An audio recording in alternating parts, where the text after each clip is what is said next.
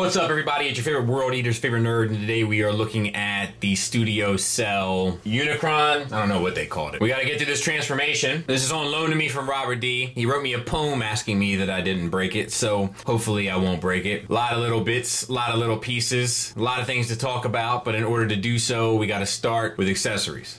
So he comes with these two planet mode mouth eating bits. They are entirely on a translucent piece of plastic, so be mindful. But that also means everything's painted on them. The kind of blue gray, whatever this color is, let's just call it gray, okay? Because we're going to talk about it a lot during the review. This gray is painted on, and this orange, yellow, let's just say orange. Orange is painted on. So both are painted on fully. Sculpted well enough, tons of little sculpted detail and stuff throughout looks really quite good, honestly. And then you got the little teeth. You know, he's part of the cavity creeps, you know what I mean? Dangerous gang. There it is. Now to attach those to his shoulders, you'll need one of these two pieces, which it also comes with. And you just take your mouth there, so to speak, take this bit, plug it into the shoulder, and you're good to go. The claw mouth will fit at the front of the planet mode, or using the same adapter, you could plug them into the side as well. He also comes with these two effects. They're just a translucent kind of orange. They have tabs. They can do a number of things, one of which being locked together like this. You can also take them and apply them to your shoulder pieces using the same pegs and holes that are in the shoulders. You can also use them to sit the planet mode on. Now you can also use one and then this upside down as a display base, and then you can use this one and plug it in to the mouth. So he's like sucking, sucking up the planet. He comes with a number of different panel swap out options so that you can give a more cohesive look in planet mode. As a heads up, some require pin punch methods in order to swap them out. So I wouldn't go crazy unless you really want that look to look a certain way in planet mode. He also comes with a number of screw covers. Uh, he has a number of holes throughout and where, you know, to assemble them. So if you want to cover down on those screws, you got also you got the colors. You even got a little screwdriver. You know, that's my favorite third party accessory ever. Tons of different sizes, shapes, etc. So you can have a very finished look. You get a number of these little kind of clips and towers, etc. to give them like all the kind of spiky appearance.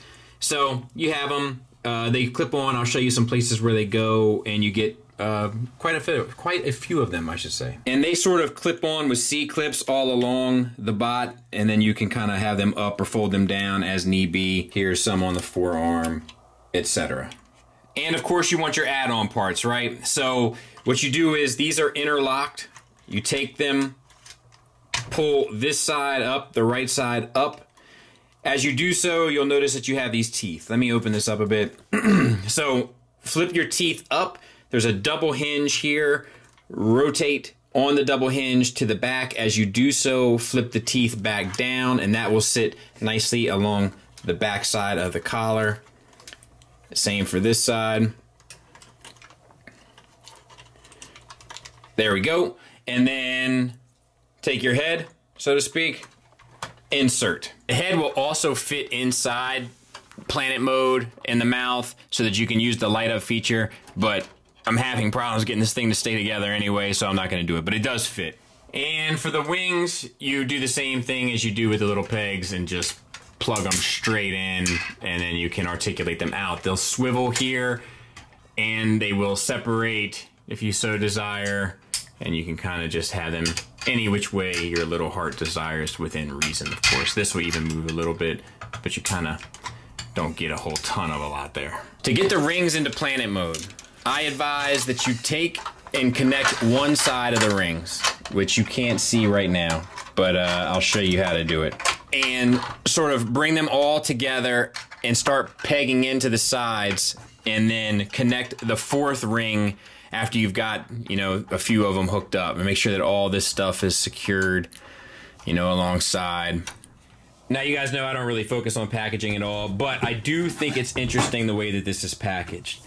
Like that for the most part what sits on a shelf obviously this is the back and it shows a little bit more but there's not one full image of the robot not one full image of the planet and for the most part what you see on a shelf is all these little creatures this kind of ties into the drama that we've heard about surrounding zeta surrounding hasbro surrounding haslab surrounding uh, unicron so just one of those things i found interesting so let's talk about the figure. We're going to kind of go piece by piece. First of all, there's a misleading amount of paint on this guy. He's really well painted. So this lower part of the helmet is all painted with the gray. And then I don't think the orange is painted there. I think the face is painted. We've already kind of talked about the head a bit though. Um, and then of course the, the, the teeth here collapse. You can, yeah, the jaw, once again, we've already spoken about, but you get it. As you saw, it's just a cylinder connected to a ball peg, so it acts as a single ball peg. And you can get a good bit down, which is nice decent, nah, nothing really up. Side to side is fine. A little bit of confused dog look. And that's about it. The eyes look great, but like I said, we've already kind of talked about the head and wings in great detail. We're not even going to cover the wings right now for the sake of convenience of going through this bot because of his size. So some real decent sculpt work going on down here in the abdomen and torso area and chest. All of the line work, the these pieces are all pop out pieces. That's painted silver. This is translucent with silver at the base, and then we have the red translucent there for the chest, which looks great. And then the gray is painted on there. The orange is painted there. I believe this blue is painted as well. You get a ratcheted swivel and an ab crunch on this fella. So pretty impressive feat of engineering. For the shoulder, we have a die cast double hinge inside of the chest. You can bring that away from the body and then maneuver the arm out to get you 90 degrees up. The universal section of it will get you a ratchet 360 around. And I just want to make sure that there's not a way to get a butterfly. It doesn't appear to be. We have uh, gray paint deco on the shoulders. And some orange on the bicep, it looks like. And they're, these might even be painted as well. I can't really tell. I don't think so, though. We have a ratcheted bicep swivel. We have a ratcheted double hinge elbow to get you almost the full run. I say we give it to him, close enough. I think this is painted. Uh, I can see it. Yep. And then we have the wrist, ratcheted swivel.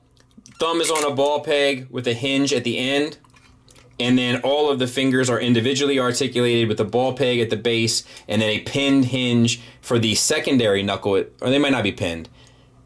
No, they are. Pinned hinge for the secondary and tertiary knuckles. So they're completely uh, independently articulated and uh, pretty well done, to be fair. Other arm is the same. For the hips, you have hip skirts here. Once again, nicely painted. The orange is painted on, and we have silver painted on inside the little doodad there. Same for this. I believe this is painted as well, because you look at the other side of the blue, it doesn't have the same feeling. So that light blue is definitely painted. And then we have the hips. So Let's get all of our hip skirts out of the way. Big old ratcheted joint for the full Van Damme. Pretty much full forward and full back. Thigh swivel. Single hinge knee that gets you 90 degrees. You do get a little break here in the thigh, so you can kind of cheat this as a double uh, joint jointed knee. It's not technically, but if you get it to work, who cares if it looks good? You know what I mean? Uh, for the lower legs, I'll say that this comes packaged detached, these kneecaps here, and they're kind of a pain to get together. So just be mindful. I've um, pushed them as far as I'm comfortable pushing them. Uh, you do get another swivel down here that's ratcheted for the lower legs, so kind of acts as an ankle swivel, but you also get the ankle swivel, so just a bit redundant. All of this is painted and looks good yellow painted, all the little details, some silver details throughout. The back is really nicely sculpted and tons of little like city, you know, looks and stuff. It's, I mean, they did a good job. Even those two pistons here on the back of the thighs, like you wouldn't normally see those, but they painted them, so good, good on them. Uh, for the ankles, you basically get a toe tilt down at multiple hinges, a toe tilt up, and then a rocker that's a little on the limited side, but it is there. And there he is from the back. So, yeah, pretty clean, pretty impressive. size comparison wise, there's not really a scale that's going to ever make sense with Unicron, right? But it's just to give an idea of what it would feel like or what would feel right to you. There it is with a smaller Legends, a larger Legends, a Chug, and a MP Prime kind of scaled figures. Hopefully, this gives you somewhat of an idea of what you're working with. I'll show you one other thing. So there it is next to Zeta's Superion. And he's probably about an inch shorter.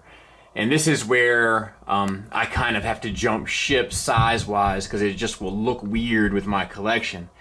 Definitely a personal preference kind of thing. Definitely, uh, you know, kind of not every shoe fits every foot situation, but it's kind of the cards that I'm dealing with in regards to the hand I'm playing.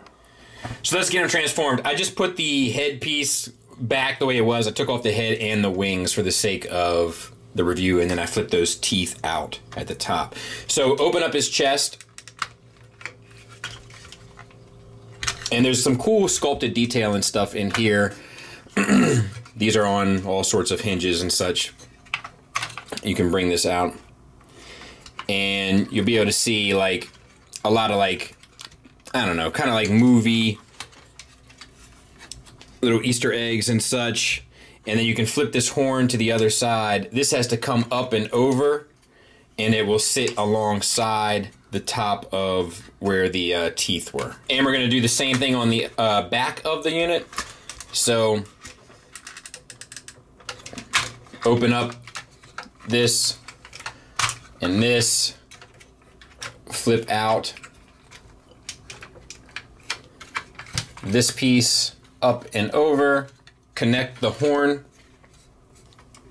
and bring it up alongside and then you'll be able to see there's like little tabs and you just want to connect them into the sides here on all four sides of your your two flip flaps that you just pulled up. Now there's a lot of swiveling that needs to go on here and I'm trying to make sense of the instructions. I'm not sure if the exact rotation matters because they're kind of symmetrical uh, the top half of the body anyway. It's like identical on the front as it is the back, but we're gonna try our best. So this top section here where the arm pieces connect, we're going to move that 90 degrees.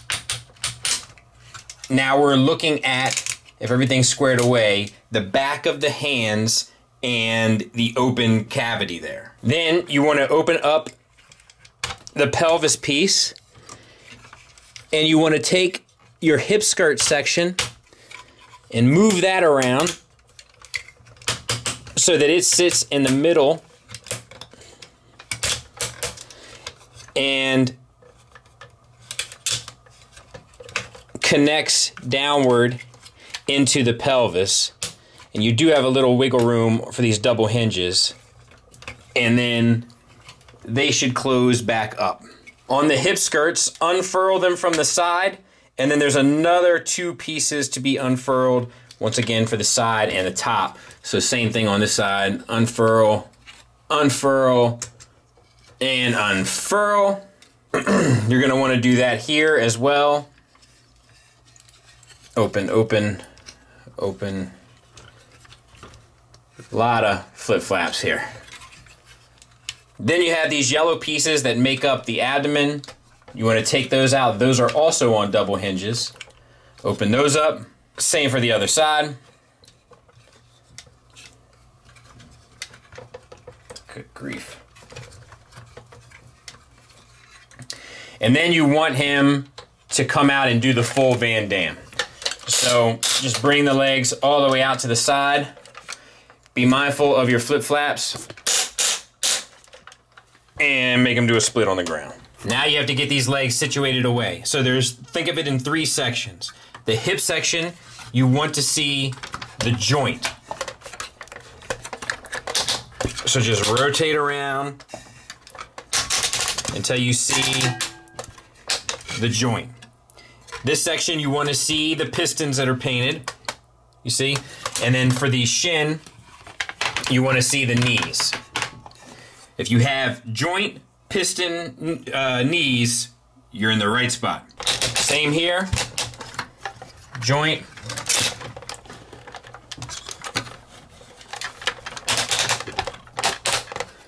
piston, and then knees. Then you have some prep work here. So take your toes and just fold them down until you can't fold them anymore. Take these, bring them out, flip these around so that it forms kind of a more uh, concise panel. You're going to want to do that on the opposite side as well. And you're going to also want to open up these knee uh, caps. To be fair, uh, these kneecaps have probably, if they're anything like mine anyway, have wanted to kind of open all the time. So you don't have to worry too much about that. And then the last thing you want to do is untab these two sections here from one another, split the difference as it were. Take this section here, spin that, rotate it around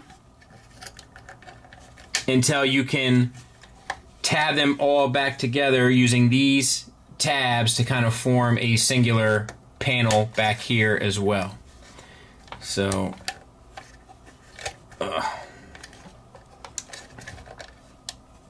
just got to get that up and around. Yeah, there. Let's just do that on this side too. Do you know how to eat an elephant? One bite at a time. So take the panel out, flip them around so that they're more cohesive. Same thing on this side, more cohesive. Split your knee cap and fold your toe up one, two, three. QC, which I found interesting. Uh, you want to split your situation here, split the difference as it were. Come around, flip this so that you get it oriented where these tabs are going to line up with the corresponding slots on both sides. Now on the underside, I have it spun around here. You're not supposed to spin it around. I'm just doing it so I can show you easily. You take this flip flap. There's another one hidden up in here. Take that out, spin that around, and connect those.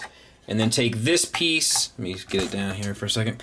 Take this piece and rotate this stuff around until uh, the kind of planet pieces start to line up. Should be pretty obvious. Same here. One panel, two panels, spin this around, tab it together, and then orient your foot so that it makes sense. I ended up missing a step before I went to collapse all this.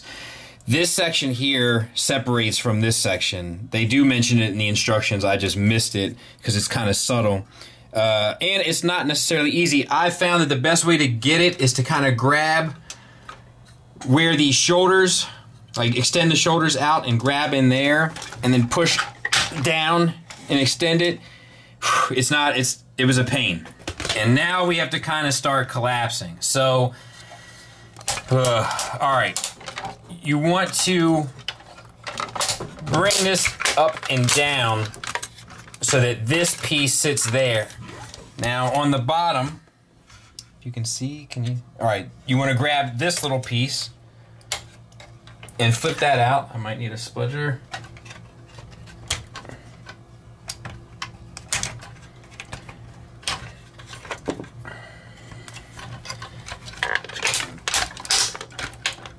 continue to collapse.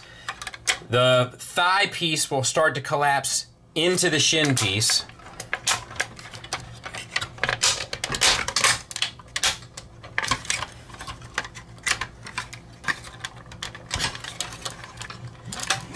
And I'm meeting resistance and I don't know where it is and I'm scared to death. Because you got to make sure that all this stuff is clear. So, and I know it's a pain. I know it's a pain to watch. If it makes you feel any better, it's a pain to do. All right, now on the, uh, hold on one second. So this is the underside. It's a little bit more of a wider view. And what you got to do is just start to collapse all the panels into the proper location. And it's Um, it's a little challenging to show, but uh, there's those. Let's see if I can't get that in a little better. I'm not sure if I can. Um, here's another one.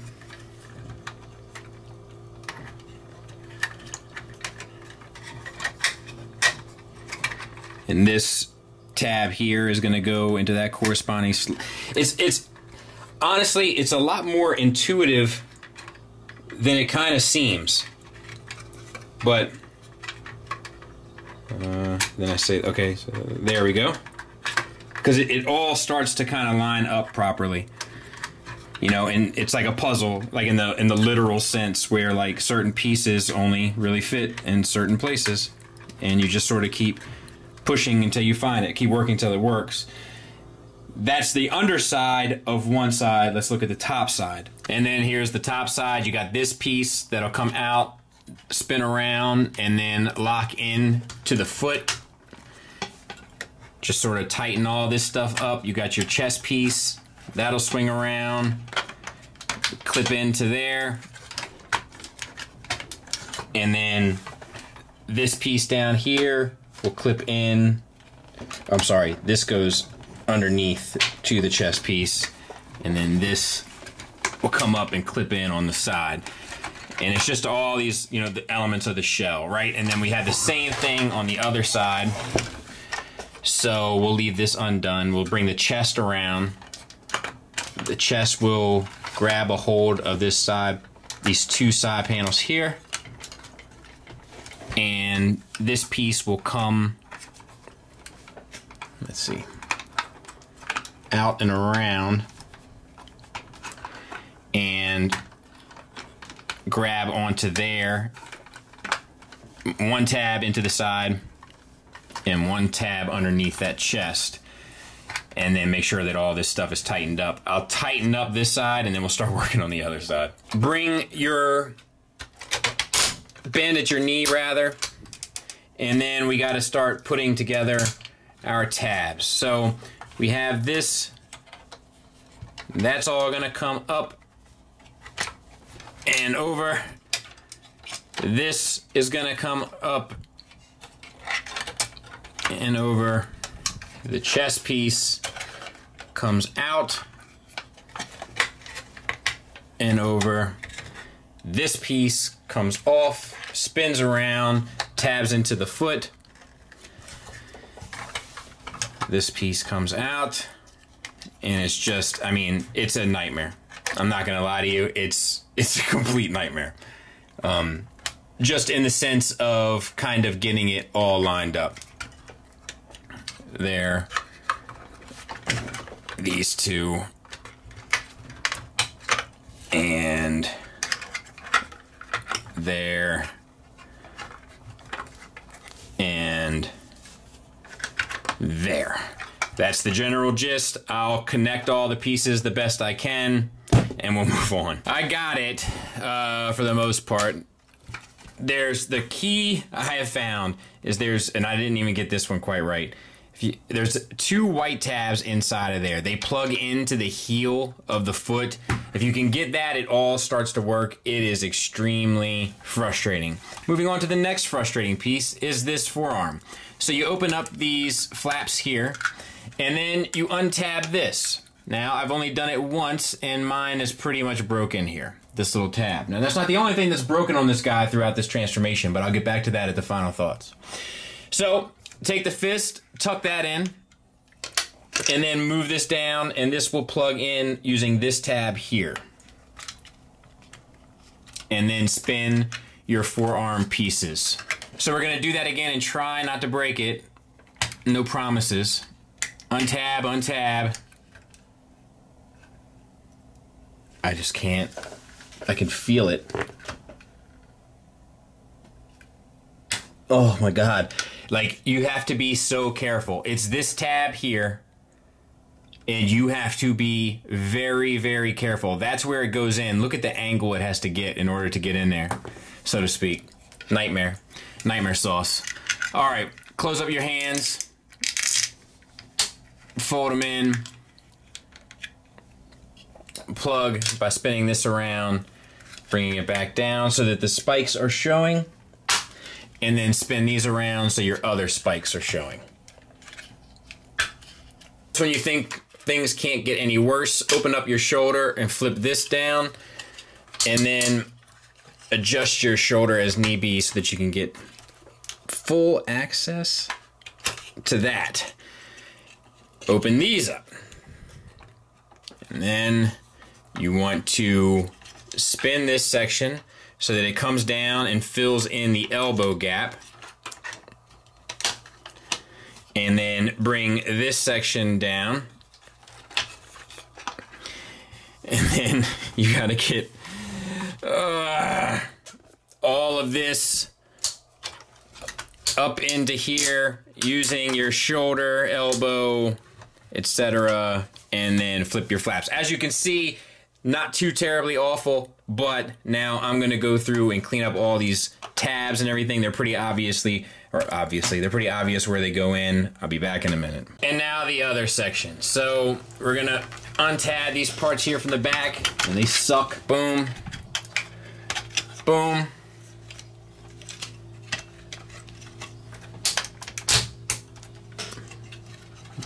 Flip this section down spin it. I forgot a step on the other side to show you guys anyway. Um, so spin this. As you spin it, there's these two white clips here. I can't get them to tab in anyway, but if you push on the opposite side, you should be able to get them to swing through, so to speak. Come down. Open. Open Boom. And then once again, it's just a matter of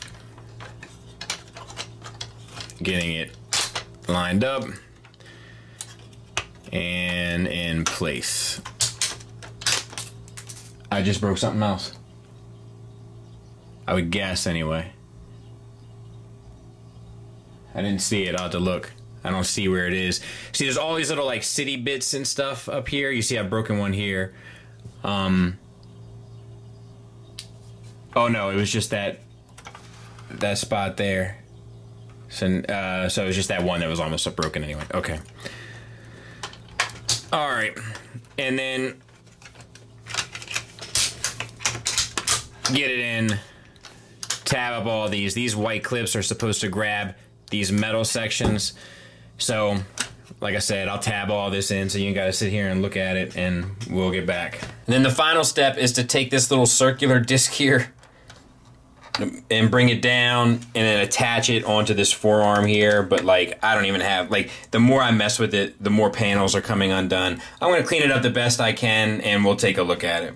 So there it is in sort of planet mode and uh, like I honestly I had it cleaner before I started adding the ring and everything. It's like the more I touch it the worse it gets. These teeth do move and stuff. I think it's best to just keep them closed and add this little ditty on there like we showed earlier but um, I think that's a better looking option. But you know, I, my I mean, it's it's coming so far apart as I mess with it that like who knows if I can even get it to stay now. But yeah, you know, look, I'm sure if you have all day, all the patience and tolerance in the world to kind of get all these panels stuck together, that it will look great. You know, I've seen pictures of it where it looks great. So I'm guessing it's something that works. It's just it's a lot of things that have to line up just right, you know, and I'm not sure that it's worth it, uh, like just to get here.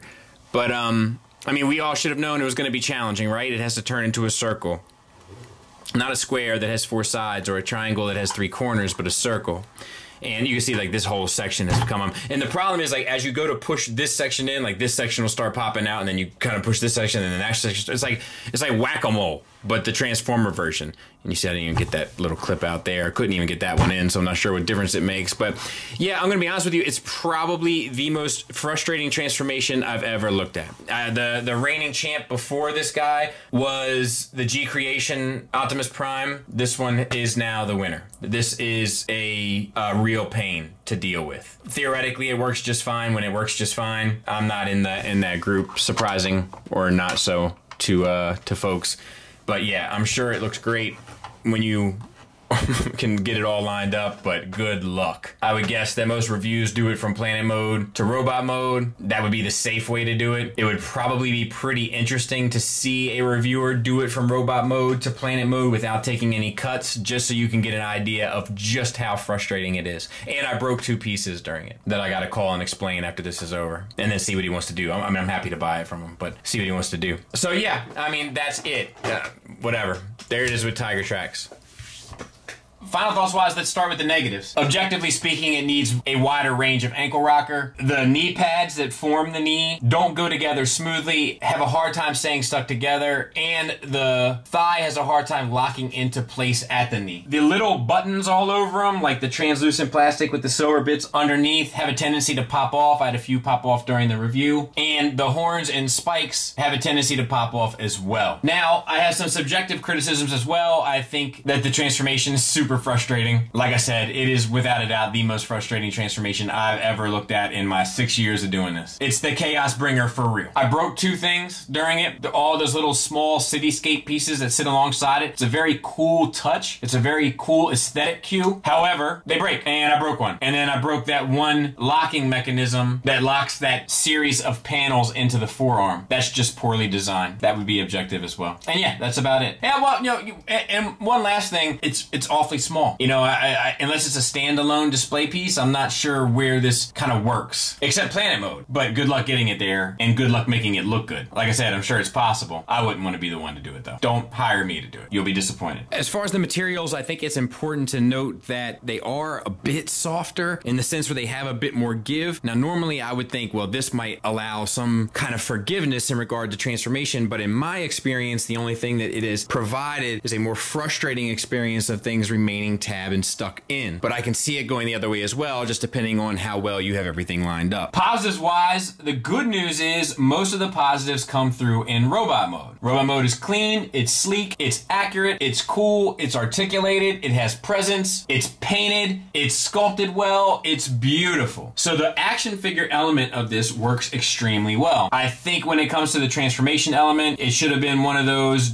just because we focused so long on making sure that we could, we didn't stop to think if we should. It is unpleasant. It is an unpleasant experience, in my opinion. It's subjective, of course, but I can only speak to my experience. I can't wait to get this out of my house. But the robot mode is absolutely outstanding, stunning, beautiful, etc. I think it looks perfect. So it all depends on how important the transformation element is to you and how important the planet mode element is to you, in my opinion. Hope that helps. Thanks for listening. Thanks for watching. Until next time, take care.